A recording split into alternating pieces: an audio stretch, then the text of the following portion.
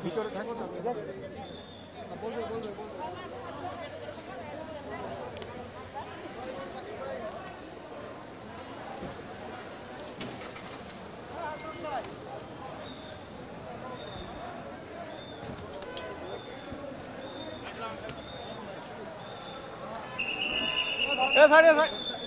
সাকিব ভাই মানে বছরটা তো শেষ হলো। বছরটা আপ অ্যান্ড ডাউন কীভাবে করবেন?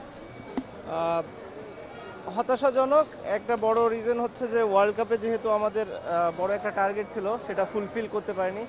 সেই দিক থেকে ডিসঅ্যাপয়েন্টিং বাট এরকম এর আগেও হয়েছে যে যার পরে আমরা অনেক ভালোভাবে কাম করতে পেরেছি। সো আশা থাকবে যে নতুন বছরে যেন আমরা আরও ভালোভাবে পারফর্ম করতে পারি এবং বাংলাদেশের হয়ে অনেক ম্যাচ জেতাতে পারি।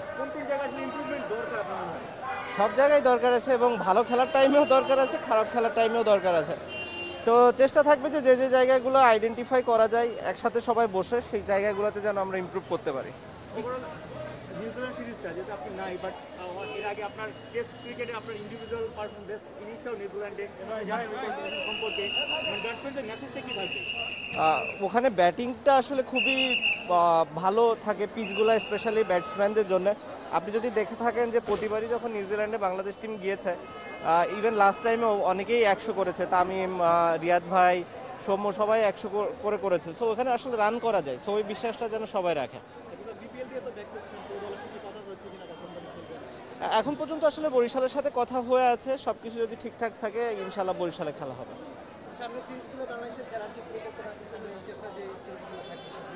না থাকার কোনো কারণ আছে? থ্যাংক ইউ ভাই। Thank you thank you